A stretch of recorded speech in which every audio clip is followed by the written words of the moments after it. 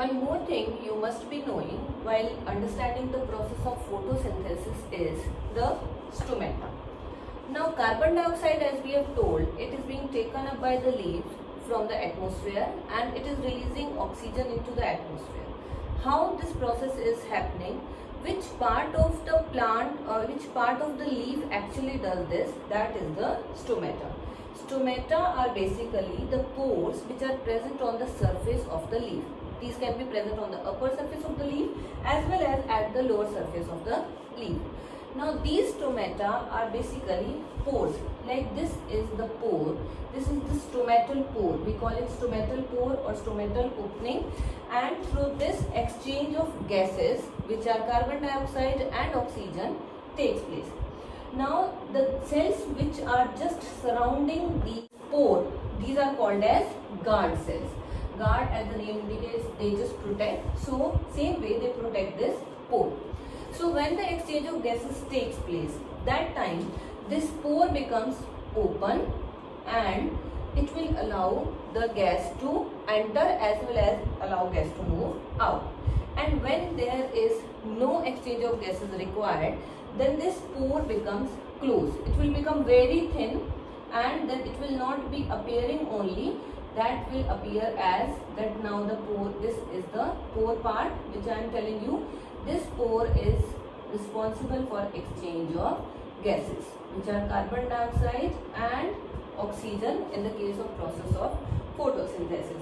So these are present all over scattered on the leaf. Here this I have just took a cross section of this so that you can easily understand. This circle is drawn here and inside the circle what is visible that I have drawn in detail. Now this stomata plays the most important role in the leaf. More of the stomata obviously they will help in the exchange of gases. Rather stomata perform another function also. They also help in the process of transpiration which you have read in your 6th class. That transpiration means evaporation of water vapor through the surface of the leaf. So stomata have two main functions. One is they help in the process of photosynthesis by the exchange of gases. Means the main function is they help in exchange of these two main gases. And second thing they do is they carry out transpiration. That is the evaporation of water vapor through the surface of leaves. These two processes are because of the stomata. Here I am showing you certain leaves. These leaves are basically differently colored. All these leaves you will notice they will have different colors like this also then this also means these are not totally green these are not completely green it means there is something present in these which is not chlorophyll. Because chlorophyll gives green color but these leaves have different colors also. So what are these leaves called? Variegated leaves. The term used for these leaves is variegated leaves. Variegated means variety. And here these leaves are having variety of colors. So the leaves with a variety of colors is called as a variegated leaf and here you must be thinking then how the process of photosynthesis occurs in such leaf.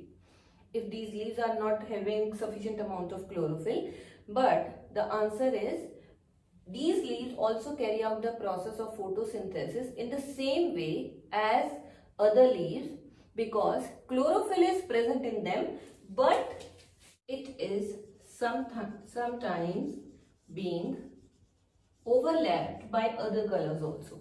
Other colors means like some leaves are having red pigment, some leaves are having uh, this purple pigment also, some are having yellow also. So the presence of chlorophyll is there and that allows the process of photosynthesis.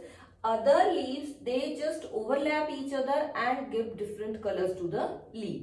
So these uh, leaves look very beautiful but still they carry out the process of photosynthesis. So this is variegated leaf This term is not given in your NCERT, but there was a question asked by Boojho that what about the plants which have variety of colors on their leaves, but can they do photosynthesis? Yes, those leaves also carry out the process of photosynthesis because of the presence of chlorophyll along with other pigment in them. You might have seen some slimy patches on water bodies or sometimes even on the surface also where there is lot of moisture or water remains standing for long. That is the algae. Now algae is also having ability to produce its own food because of the presence of chlorophyll in it. As chlorophyll is the green pigment which is important for carrying out the process of photosynthesis because algae also have chlorophyll so it also produces its own food. So when you are writing the autotrophs, then one main autotroph we consider is the plants. These are the main autotrophs. Then we can write algae also. Algae is also, algae is the plural. If you write singular then it is alga. So never get confused that you are writing wrong spellings. So these are just singular or plural only. So autotrophs are basically the plants which carry out the process of photosynthesis as well as the algae which carry out the process of photosynthesis. So this way they produce their own food and keep on growing and multiplying very fast and they very fast cover a water body where they have once started growing.